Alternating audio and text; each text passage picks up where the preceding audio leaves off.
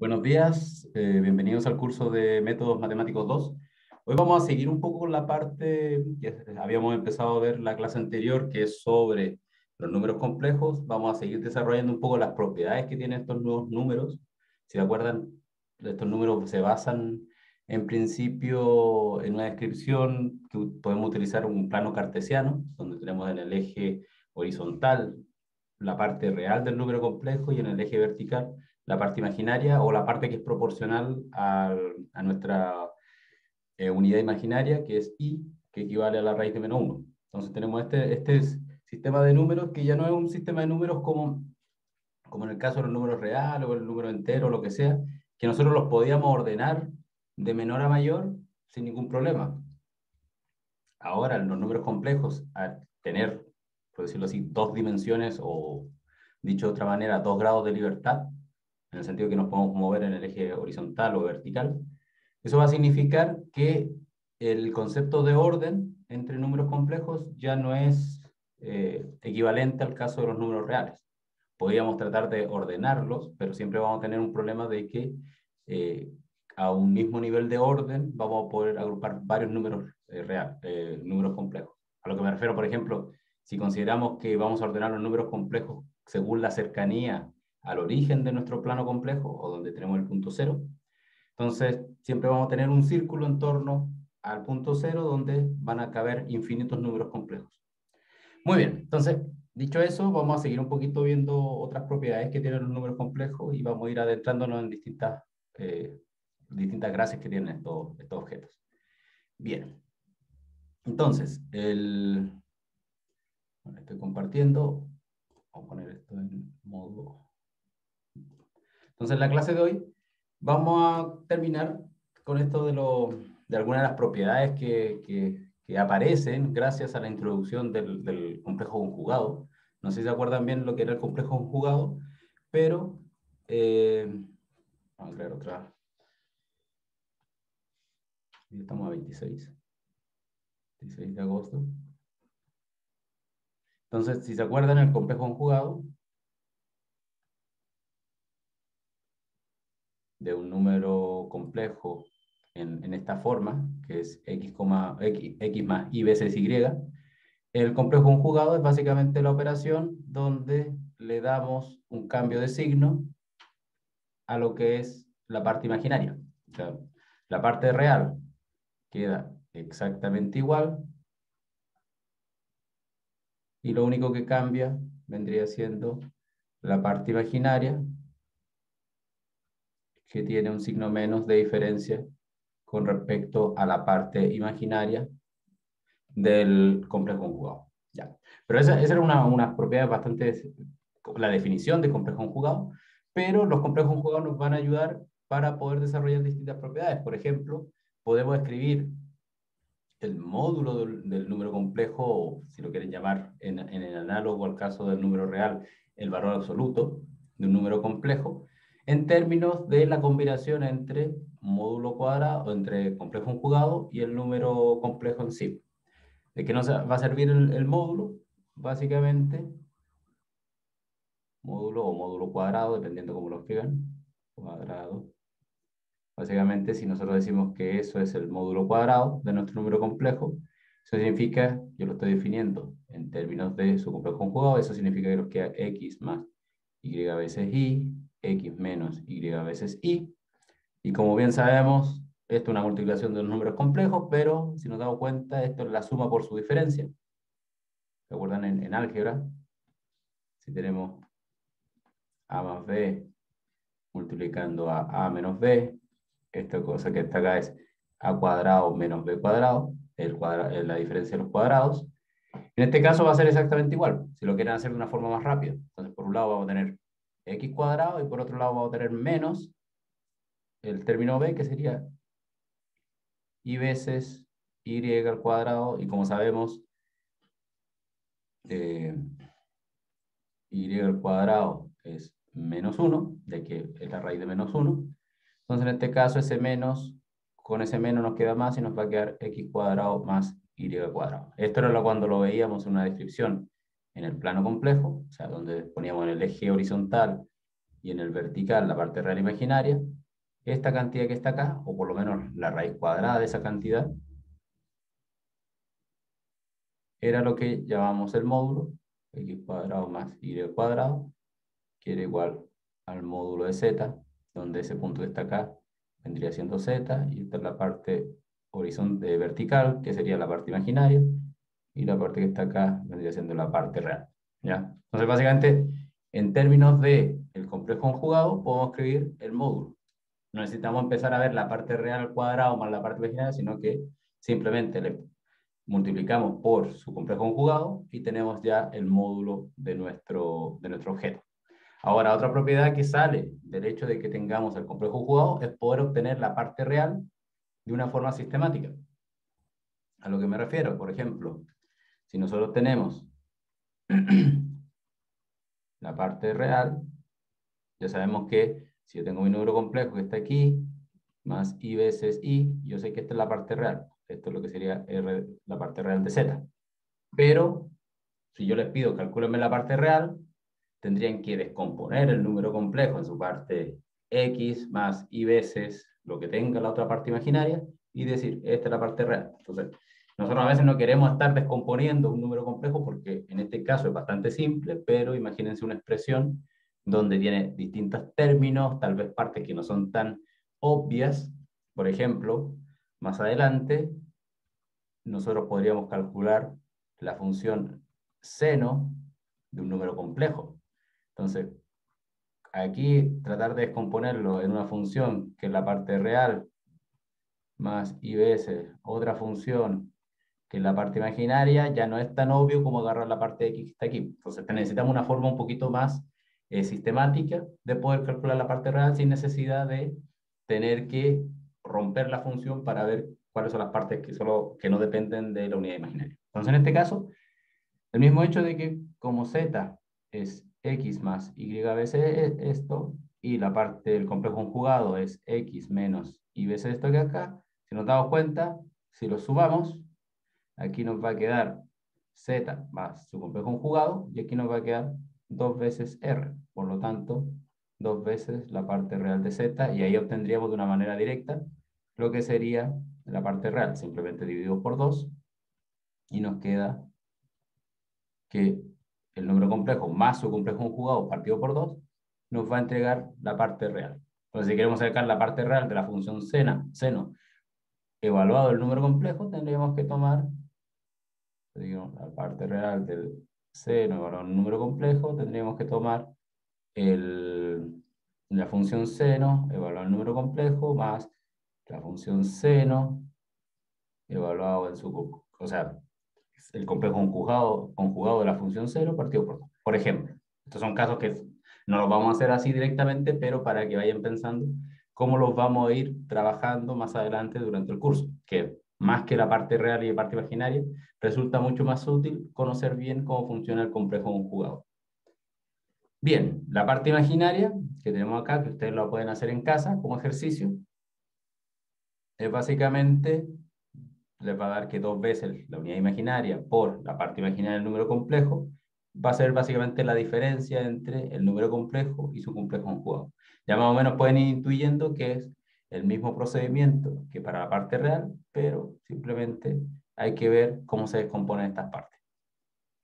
Muy bien, entonces ya con eso, ya con el hecho de haber introducido lo que es el complejo conjugado, el módulo de un, de un número complejo, que es esta distancia entre, entre puntos, vamos a poder sacar otras propiedades que se derivan en parte de las definiciones de estos objetos, de estas cantidades. Por ejemplo, estas son propiedades para que ustedes las verifiquen en casa, básicamente se den el trabajo de darse cuenta de que, eh, por ejemplo, el módulo de un número complejo es exactamente igual al módulo de su eh, complejo conjugado.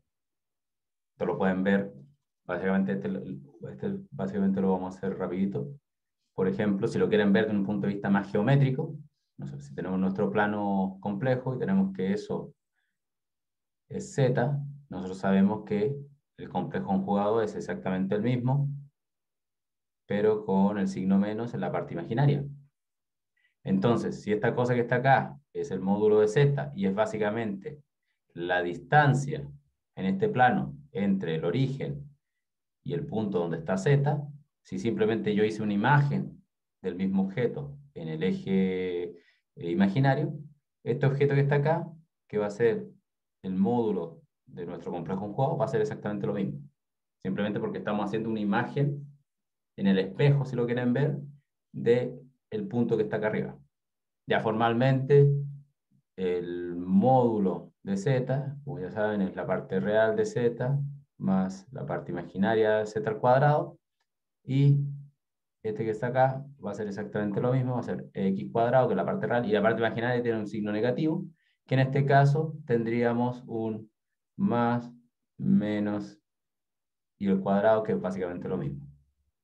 x cuadrado más y cuadrado sería esto, y por lo tanto los dos objetos son, tienen la misma cantidad. Entonces, son propiedades que poco a poco las van, las van a ir eh, digiriendo de una manera un poquito más a medida que vayamos pasando con el semestre. Otra de las propiedades que es bastante interesante es que la multiplicación de dos números complejos, en los cuales uno es el complejo conjugado, es exactamente igual a intercambiar los complejos conjugados. Esto también hay que probarlo. O sea que escríbanlo y vean si esto es verdad o no. Y me dicen la próxima clase. Y otro de los puntos, y estas otras dos propiedades que van a ser súper importantes, son, por ejemplo, lo que se conoce como la desigualdad triangular, o estas que yo le puse desigualdad triangular 2, que no tienen, no tienen un nombre como tal, pero básicamente nos dice qué pasa con el módulo de un número complejo en el caso de la suma. O sea, aquí estamos diciendo que esto va a ser una propiedad de que si sumamos dos números complejos y le sacamos el módulo, eso va a ser siempre menor que si simplemente sumamos los, los módulos de cada uno de los números complejos por separado. Eso se parece un poco, en el caso de los números reales, ustedes ya saben que esto también vale, x menos y es menor o igual al módulo de x más el número de y. Y especialmente si es que y es negativo, o sea, aquí con un más, perdón, si y es menor que 0, ustedes ya saben que, por ejemplo, si x vale 1 y y vale menos 2, ustedes ya pueden saber que eso siempre es menor que 1 más 2. Porque aquí les va a dar menos 1, el valor absoluto de menos 1 es 1, y nos está diciendo que 1 siempre es menor o igual que 3. ¿Ya? Para números reales no es difícil mostrarlo. Para números complejos puede ser un poquito más difícil, pero ustedes ya saben cómo poder proceder con esto. O sea, este es un ejercicio que de hecho se los dejo propuesto, al final de la diapositiva está el ejercicio, que es básicamente demostrar que estas desigualdades que están acá son válidas para cualquier par de números complejos. Ya, entonces con eso más o menos terminamos lo que son estas propiedades genéricas de los números complejos, un poco lo del módulo, el conjugado y la descripción propia de el número, los números complejos en términos de los, los subpartes reales e imaginarias. Entonces ahora vamos a empezar a, a, ver que de la misma manera cuando uno trabaja en, en, dos dimensiones, o sea, en un plano cartesiano, o sea, con un, en un eje x, y o horizontal vertical, no existe solamente una única forma de poder describir los puntos del espacio en dos dimensiones sino que existen otro tipo de representaciones. Lo mismo va a pasar con los números complejos, en el sentido de que vamos a poder escribir un mismo número complejo en función de dos eh, números reales, pero los podemos describir de distintas maneras, con formas distintas, pero siguen siendo el mismo punto. Entonces esto se le llama una representación, en el sentido de que simplemente estamos eh, plasmando un número complejo de distintas maneras pero el, número complejo sigue teniendo las mismas propiedades del número complejo. Si, le sacamos, si ese número complejo le sacamos, lo aplicamos sobre una función, el resultado va a ser exactamente igual, solamente que lo único que va a cambiar es cómo estamos escribiendo el número complejo. Ya, por ejemplo, eh,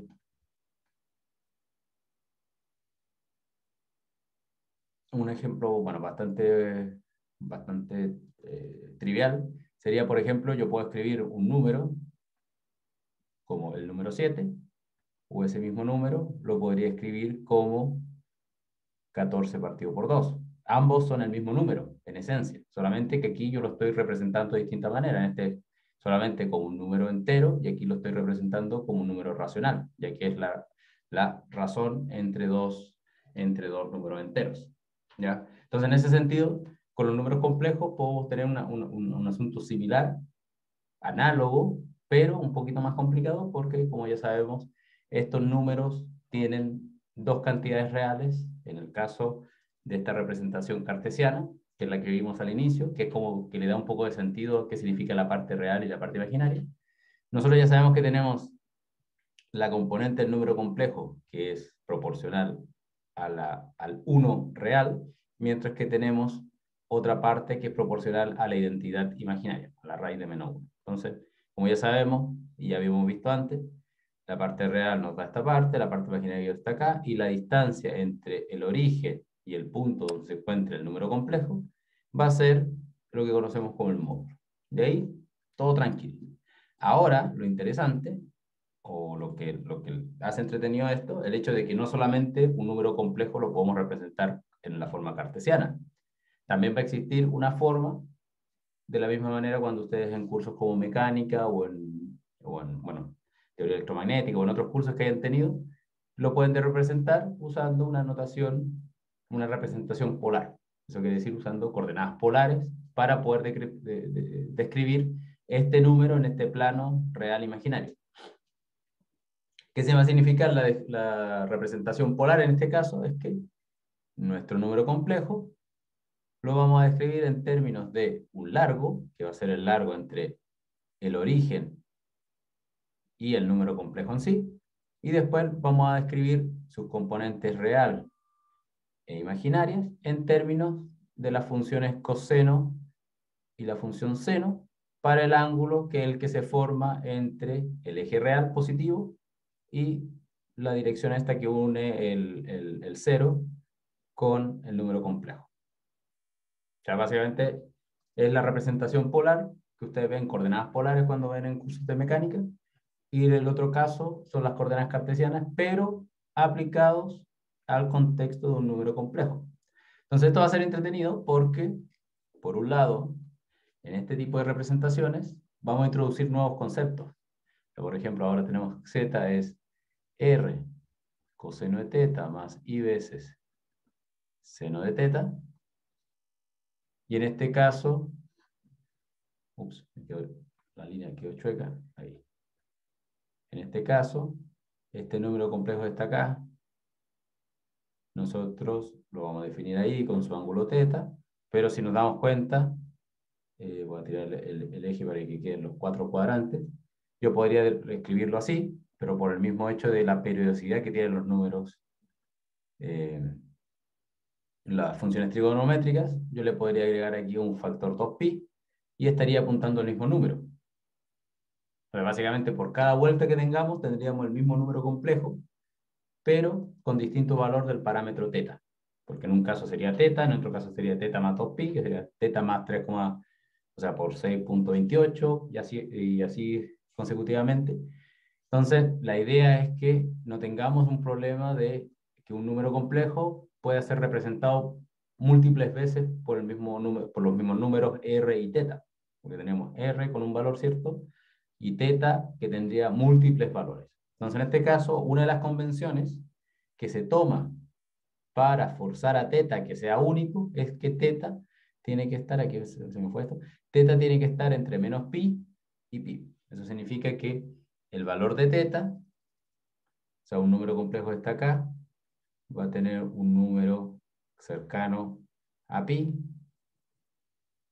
por ejemplo, su ángulo, y un número que esté por este lado, en vez de ser pi más algo, sería un número cercano a menos pi.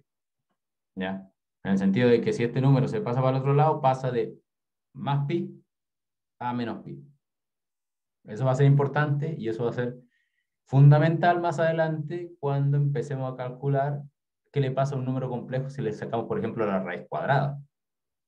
Ya que esta definición en particular, el hecho de que tengamos esta multiplicidad de ángulos que nos dan el mismo número complejo, va a ser fundamental para entender lo que significan las funciones multivaluadas o las ramas que existen en el plano complejo. Pero eso me estoy adelantando. Y en este caso simplemente eh, eh, hacer el énfasis que cuando hablemos de la representación polar, el ángulo que nos ayuda a describir a este número complejo tiene que ser un ángulo que vaya entre menos pi y pi. Si les da 2pi, tenemos que restarle la cantidad de 2pi necesarios para que nos dé entre esa cantidad. Esto a veces, los que hayan hecho algo de, programación o computación, esto a veces se, se, define en términos del módulo de teta en función de pi para forzarlo a que esté entre menos pi y pi. ¿ya? Pero módulo, módulo en el sentido de programación, no módulo en el sentido del módulo de un número complejo. ¿ya? Muy bien, entonces, ¿Cuál va a ser la gracia de las representaciones? ¿Por qué no estamos complicando la, la vida en, introducir una representación cartesiana y una representación polar? Como, como todo en la vida, y lo mismo en, mecánica cuando hicieron el curso. Cuando trabajan, por ejemplo, un movimiento parabólico, es súper sencillo describirlo en coordenadas cartesianas, pero si están describiendo un movimiento de rotación, eh, es mucho más sencillo describirlo en coordenadas polares. Entonces, en este sentido, las representaciones de lo que estemos, eh, de, de, cómo trabajamos estas representaciones en términos de lo que queramos hacer, en algunos casos la cartesiana va a ser mucho más sencilla de utilizar y en otros casos la polar. ¿Ya? Entonces, por ejemplo, vamos a ver el, el, el caso de qué pasa si Eh, sumamos números complejos. Lo vimos en la clase anterior, lo vamos a repasar. Entonces, si sumamos números complejos y utilizamos la representación cartesiana del número complejo, ya sabemos que la suma equivale a sumar las partes reales y por otro lado, sumar las partes imaginarias por separado. Básicamente no mezclar peras con manzanas. Entonces, en este, en este caso, eh, sumar números complejos en la representación cartesiana es bastante sencilla sabemos cuál es la parte real, sabemos cuál es la parte imaginaria, la sumamos cada una por separado, tenemos el nuevo número complejo. Multiplicar era más complicado, porque si se acuerdan, aparecían las combinaciones de las partes reales de uno al otro, menos la parte imaginaria del uno del otro, más y veces los términos cruzados entre reales e imaginarios. Entonces, este término, multiplicar números complejos en la forma cartesiana, ya no es tan sencillo. Ahora, ¿cuál es la gracia? que nosotros ahora tenemos una nueva representación, la representación polar, la representación que se basa en el radio o la distancia entre origen y, número complejo, y en el ángulo que nos ayuda a posicionarnos en este plano complejo. Entonces, en este caso, vamos vamos a introducir lo que se llama, o posteriormente se va a llamar la fórmula de, de Moab, que básicamente está basado en este hecho, de que la representación polar nos va a ser útil, por ejemplo, en el caso de multiplicar números complejos. ¿Por qué? Si agarramos dos números complejos, en este caso, Z1 por Z2, cada uno con su parámetro Z1 va a estar con R1, bueno, y la función coseno, θ1, etcétera, ups, me adelanté, θ1, más i veces lo que sea, y el Z2 lo mismo, pero con 2 en sus parámetros R y θ. Entonces, por ejemplo, si hacemos esa multiplicación, es básicamente multiplicar estas dos cantidades y ya nos damos cuenta que, como se multiplican los números complejos, partes reales, uno por uno, uno por uno, haciendo toda la, expansión de, este, de, estos términos multiplicados, multiplicativos. Entonces, por un lado, las partes fáciles es que los largos de nuestros números complejos, como son números reales, se multiplican directamente, no se ven afectados por que sean parte real o parte imaginaria.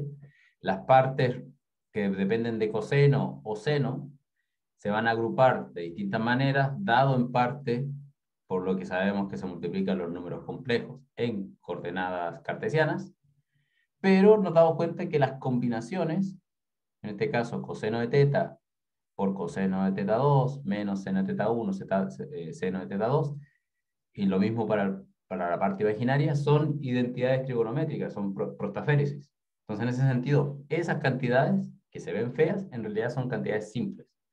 En el primero de los casos, tenemos que esa combinación, la suma de los cosenos menos las, eh, menos la multiplicación de los senos eh, equivale al coseno de la suma de los ángulos, teta 1 más teta 2. Por otro lado, la, eh, la multiplicación coseno-seno más seno-coseno es básicamente el seno de la suma de los ángulos. Entonces, básicamente, cuando estamos multiplicando números complejos, z1 por z2, lo que obtenemos es básicamente la multiplicación de los largos o de las distancias entre origen y, números y las distancias entre estos números complejos, los módulos de cada uno de los y la parte que depende del ángulo es simplemente la suma de los dos ángulos. De tal manera que lo que aquí obtenemos es que la multiplicación de R1 por R2 nos va a dar lo que sería el módulo del nuevo número complejo y la suma de los dos ángulos nos daría básicamente el ángulo en el cual se orientaría nuestro nuevo número complejo. Entonces, en ese sentido, hacer esto, que multiplicar los términos cruzados, etcétera, etcétera, a decir que cuando multiplicamos dos números complejos, los módulos se multiplican y los ángulos se suman, es mucho más sencillo que acordarse de esa fórmula o hacer la expansión, la multiplicación de cada uno de los términos uno a uno para poder reagrupar la parte imaginaria, eh, real, imaginaria, etcétera. Entonces, esto que está acá nos va a ser eh, súper importante y ya vamos a ver por qué, por lo que tenemos acá en nuestro título sobre la fórmula de De para poder entender cuál es la implicancia de esto y en la próxima clase iremos a ver, veremos una de las fórmulas más bonitas que hay en la física matemática, pero todavía no la, la vamos a ver recién el martes de la próxima semana. Entonces, un poco la, si lo queremos ver de un punto de vista más geométrico, porque esto que está acá sería básicamente un punto de vista más eh, algebraico, simplemente. Es decir, que Z1, R1, R2, ya sumo los ángulos y ya mi qué, pero si lo vemos ahora en un gráfico, tendríamos que, si esto es nuestro número complejo Z1 y lo estamos multiplicando por un Z2, lo que vamos a hacer que ese punto, primero lo vamos a rotar para agregar lo que sería el ángulo de nuestro Z2, y después lo alargaríamos para que quedara Z1, Z2, que sería extender, alargar la distancia original, el módulo Z1, en el módulo Z2. Entonces, básicamente, cuando multiplicamos números complejos, lo que estamos haciendo es rotar y extender o contraer, dependiendo si el módulo del otro número complejo es mayor o menor que 1.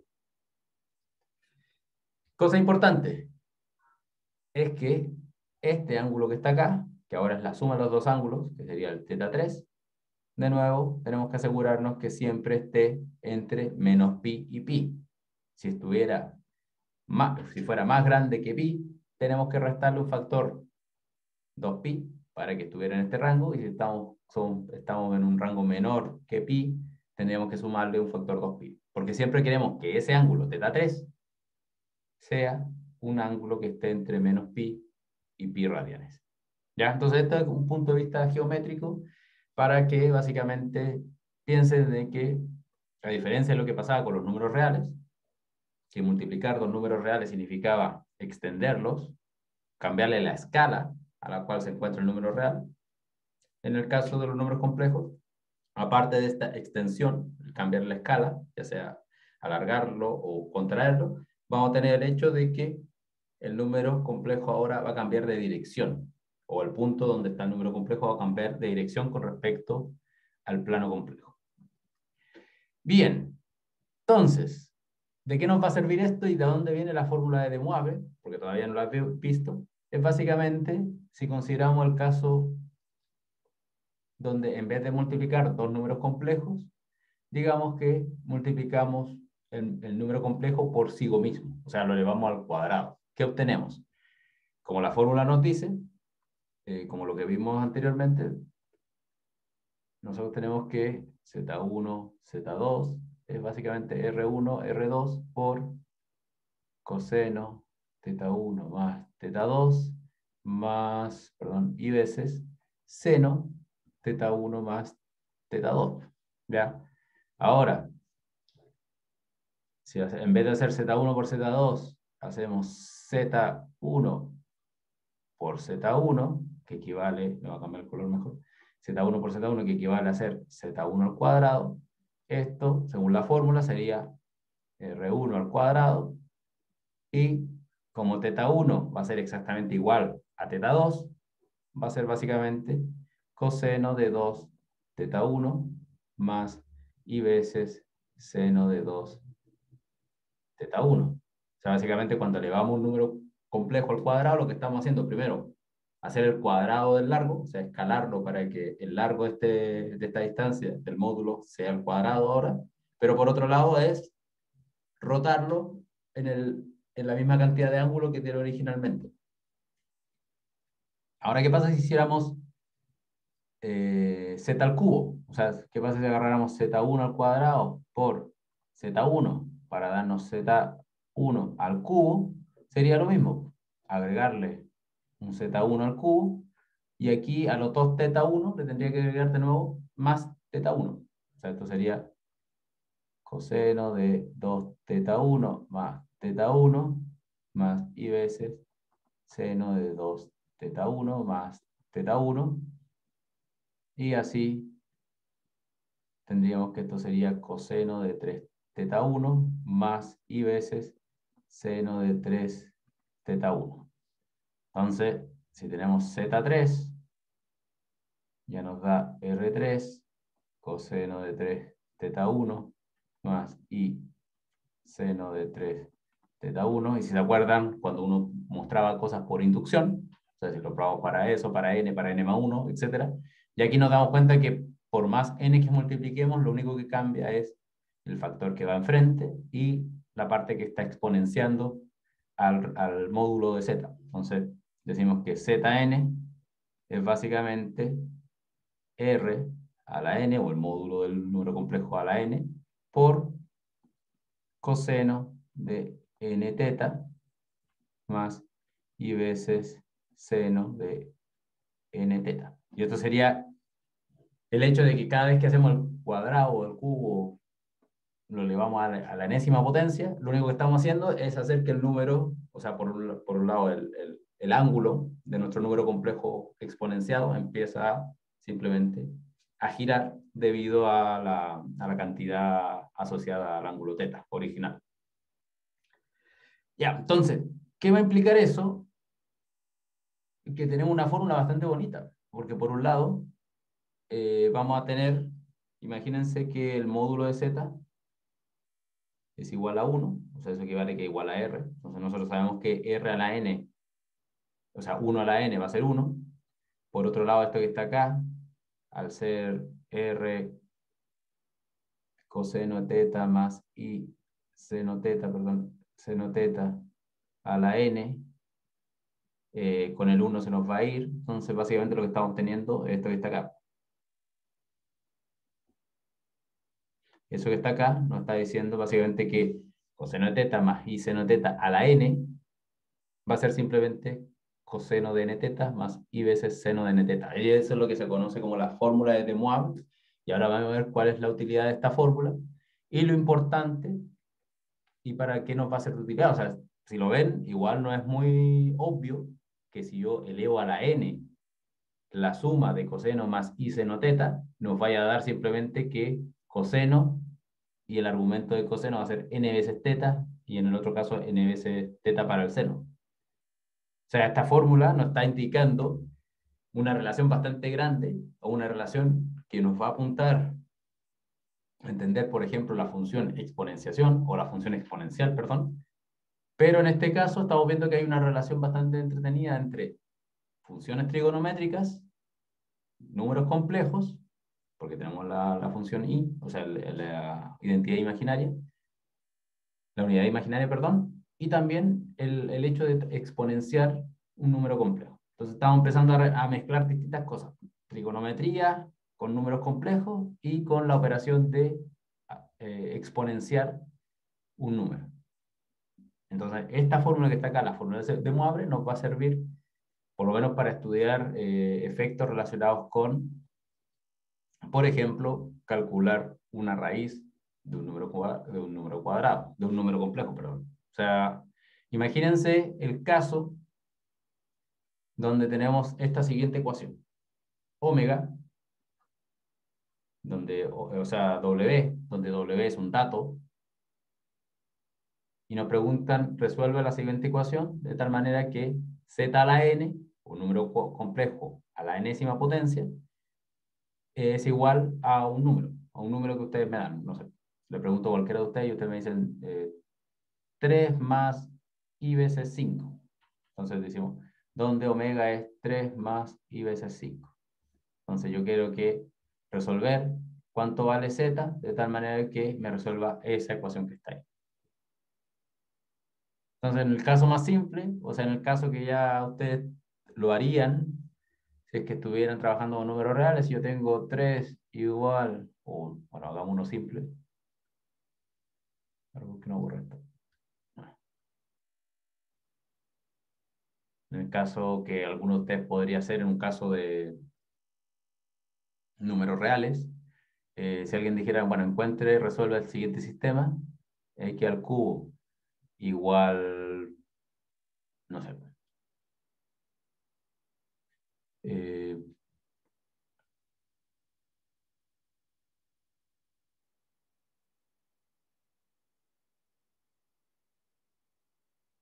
A ver, un número al cubo que sea que me acuerde, que sea bonito. 8. Más simple. Ya, entonces aquí ustedes dirían, la solución de eso es obvio. X tiene que valer 2 porque yo sé que 2 al cubo. Ups, escribo una Z. No, esta cosa no está borrando. Esto es básicamente, eh, nosotros sabemos que 2 al cubo es igual a 8. 2 por 2, 4, por 2, 8. Bien. Problema resuelto.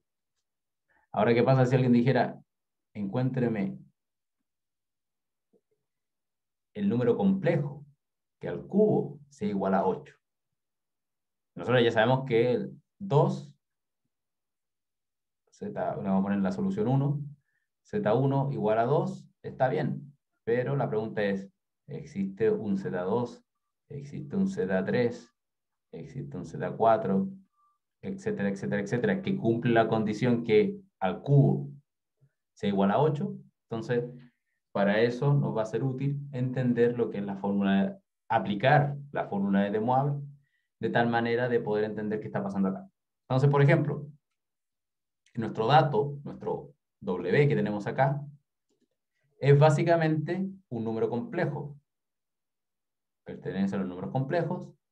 Nuestro número Z pertenece a los números complejos. Entonces, cada uno de ellos yo los puedo escribir en términos de la representación polar. Todo número complejo se puede escribir ya sea en forma cartesiana o en forma polar. En el caso de nuestro dato, yo lo puedo escribir con su, con su módulo, R, R grande, y con su ángulo en el plano complejo, phi.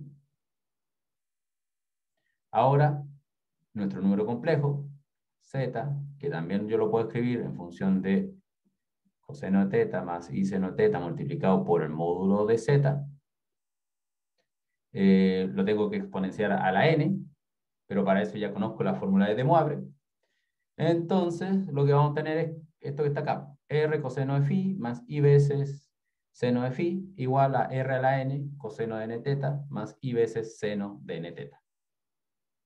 Y se acuerdan cuando uno resolvía un sistema donde teníamos peras y manzanas, las peras van con las peras, las manzanas van con las manzanas, entonces yo ya sé que las partes reales van a tener que ser iguales y las partes imaginarias van a tener que ser iguales. Entonces, ya con eso, y sabiendo que, por ejemplo, los, los largos R, mayúscula y minúscula, son números reales, y que el número Z y que el número N pertenece a los enteros, yo ya sé que si conozco R, le saco la raíz enésima a r y voy a obtener el largo de mi número, o sea, el módulo de mi número complejo z, que es el que quiero encontrar. Entonces ya por lo menos en un punto fijamos lo que es el largo de este vector. Ahora todavía no sabemos el ángulo donde se va a encontrar este número complejo, pero ya sabemos la distancia entre el origen y el número complejo en sí, ya que es la raíz enésima de este, del módulo de el, el número complejo dato, que es el que nos viene dado de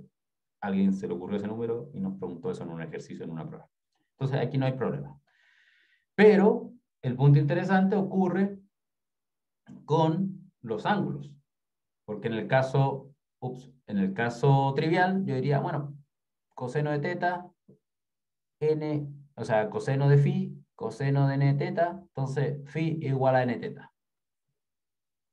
Y ahí tendríamos una solución.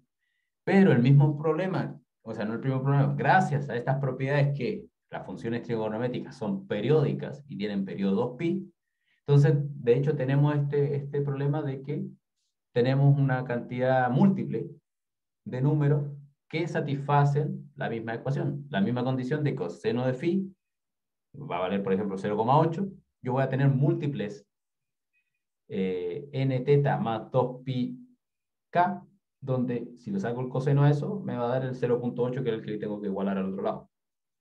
Entonces significa que nuestros números phi son multivariados, multivaluados, y eso significa que van a existir distintos tetas, valores del ángulo teta, que van a valer, que van a existir en el rango entre menos pi y pi, o sea, también definido como números complejos, que van a ser consistentes con lo que queremos resolver.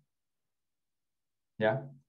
Esto se ve mucho más abstracto, entonces, por ejemplo, si queremos encontrar teta, nosotros vamos a ver cuánto es el ángulo phi de nuestro número complejo que es del dato. Vamos a tener que sumarle o restarle 2pi por k y dividirlo por n, donde n es lo que, la exponenciación que estamos calculando, y nos van a salir distintos números de teta que viven entre menos pi y pi. Muy bien, apliquemos esto, porque uno es el caso básico y otro es el caso, o sea, este es el caso abstracto. Hagamos un caso, un ejemplo propiamente tal. Entonces, por ejemplo, alguien nos dice, ya, como estamos trabajando con números complejos, yo quiero que, que alguien me resuelva la ecuación donde i, o la, la, el término imaginario, es igual a z cuadrado. Encuéntrenme z. ¿Cuánto vale z? Entonces alguien que ya un poco estuvo viendo, estuvo atento a la clase, diría, bueno, primero tenemos que escribir nuestro, nuestro número, el omega, que en este caso es ahora i, en representación polar, y la representación polar para i es básicamente y veces seno de pi medios, donde pi medio, seno de pi medio es 1, entonces igual a i, pero es la representación polar. Ya sabemos cuánto vale el ángulo phi, porque es pi medios, y nos están preguntando z al cuadrado, por lo tanto teta se va a traducir en pi medio partido por 2, que va a ser pi cuartos, y en el factor 2 pi k partido por, por 2, por el n, recuerden que eso es n, que nos va a dar pica. Entonces ahora tenemos que ver cuánto de esos teta para distintos valores de k viven en el rango entre menos pi y pi. Entonces en este caso vamos a tener primero cuando, cuando k es igual a menos 1, nos va a dar un número que va a ser teta 1, que es menos 3 cuartos pi. Y cuando k es igual a 0, nos va a dar pi cuartos. Si k fuese 1, o sea, eso sería pi cuartos más pi, nos daría un número que excede el límite de pi y por lo tanto ya no es parte de lo que queremos encontrar como solución. Entonces, básicamente en este caso, nosotros tenemos que el número de ángulos teta que satisfacen esta ecuación son simplemente dos. Si los traducimos a números complejos en eh, representación cartesiana, básicamente el primer número complejo que satisface la solución es 1 más i partido por raíz de 2 y el segundo número complejo es eh, menos 1 más i partido por raíz de 2. Básicamente tenemos la solución donde tenemos z1 y la otra solución que es menos z1, que uno está exactamente en la dirección contraria. Eso si lo vemos dentro del plano complejo, tendríamos que esto es nuestro dato esto sería i. Y la solución de z cuadrado, esto que está acá, z cuadrado igual a i. Tenemos ese número complejo, que esto sería el z2, y este que está acá arriba, que sería el z1.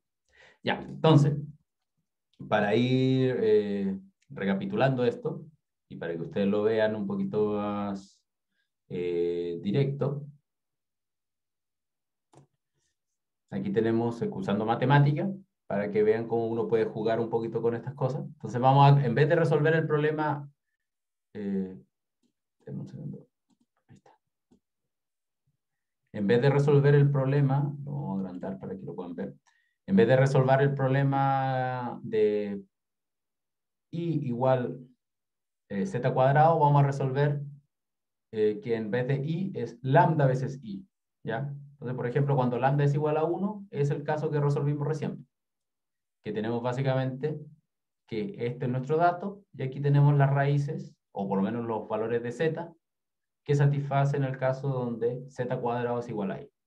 Ahora, si en vez de jugar con i, jugamos con, con en vez de que sea i, i solamente, lambda igual a 1, que sea lambda igual un número arbitrario, básicamente nosotros podemos ver cómo van cambiando las raíces cuadradas. Y aquí tenemos, básicamente, esto es el caso cuando lambda es igual a 0.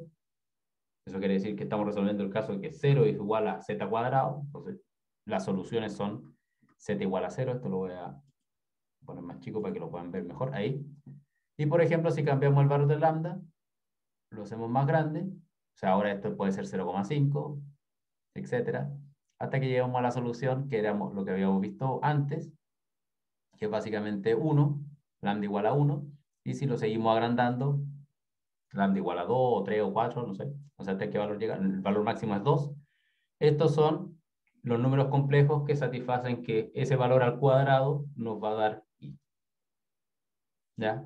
Entonces ahí lo pueden ver de una forma un poquito más gráfica qué está pasando. Pero, si se dan cuenta, estamos cambiando el largo,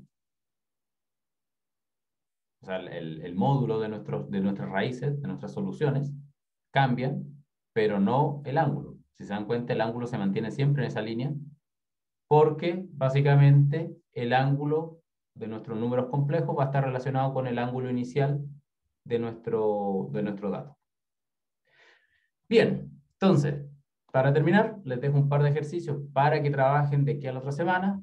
Básicamente, demostrar las desigualdades triangulares que, que les mostré al inicio y también eh, resolver el caso de encontrar estas raíces, o sea, resolver el sistema donde tenemos z a la n es igual a 1. Ya sabemos que z igual a 1 es solución, pero por lo que vimos, pueden haber otras soluciones que no necesariamente son el caso trivial que el caso del cuando z es un número real puro. Van a existir otras soluciones que van a depender de esto. Y para que lo puedan graficar, para los que ya hayan instalado matemáticas, yo este archivo lo voy a ir subiendo y ahí lo pueden utilizar como formas para poder generar lo que ustedes necesitan en su, en su cálculo. Muy bien, si tienen dudas, preguntas, eh, me las pueden decir ahora y nos estaríamos bueno, voy a parar la grabación y para el resto que está viendo los videos en casa, eh, nos vemos en la próxima clase. Ahora nosotros seguimos si es que hay dudas o preguntas.